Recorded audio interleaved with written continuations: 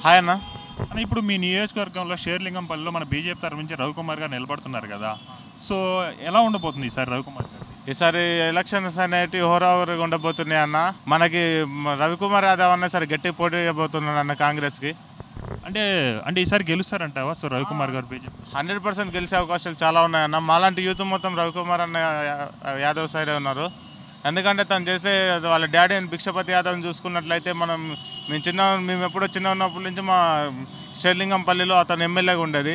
వాళ్ళ డాడీ వాళ్ళ వాళ్ళ డాడీ సపోర్ట్ తోటి ఇప్పుడు అతను ఫస్ట్ టైం నామినేషన్ చేశారు. అండ్ మాలాంటి యూత్ మొత్తం ఇప్పుడు ఫస్ట్ టైం మోటార్స్ అందరికీ ర- రవికుమార్ అన్నకి మంచి లింకప్ అనేది సెట్ అయింది అన్న. ఎందుకంటే అతను చేసే పనులు కావచ్చు యూత్కి చేసే సపోర్ట్ కావచ్చు ఇవన్నీ చూసుకున్నట్టే మాలాంటి యూత్కి మొత్తం చాలా సపోర్టివ్గా ఉన్నారు కాబట్టి రవికుమార్ అన్నని గెలిపించుకునే అవకాశాలు చాలా ఉన్నాయమ్మా బీఆర్ఎస్లో ఇప్పుడు ఆల్రెడీ సిట్టింగ్ ఎమ్మెల్యే ఉన్నారు కదా. ఉన్నారన్నయ్య? బీఆర్ఎస్ గత టూ టైమ్స్ నుంచి గాంధీ గారే ఉన్నారు. కానీ అతని అతని పాలన అనేది ఎవరికి అంత నచ్చలేదు. రోడ్స్ రోడ్స్ చూసుకున్నా మాకు కొంచెం ఫెసిలిటీ చూసుకున్నా మట్టి రోడ్లు ఇంకా అలాగే ఉన్నాయి.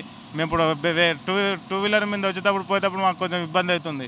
అదే రవికుమార్ అనే వస్తే మాకు ఆ రోడ్స్ అవి మంచిగా అవుతుంది మాలాంటి యూత్కి కాలేజ్ వెళ్ళే కాలేజీకి వెళ్ళేటప్పుడు వచ్చేటప్పుడు కొంచెం మంచి సదుపాయాలు అందిస్తారని కొంచెం నమ్మకం ఉంది అన్నయ్య సార్. అంటే రవికుమార్ గారు వస్తే మీరు ఎలాంటి మార్పు కోరుకుంటున్నారు?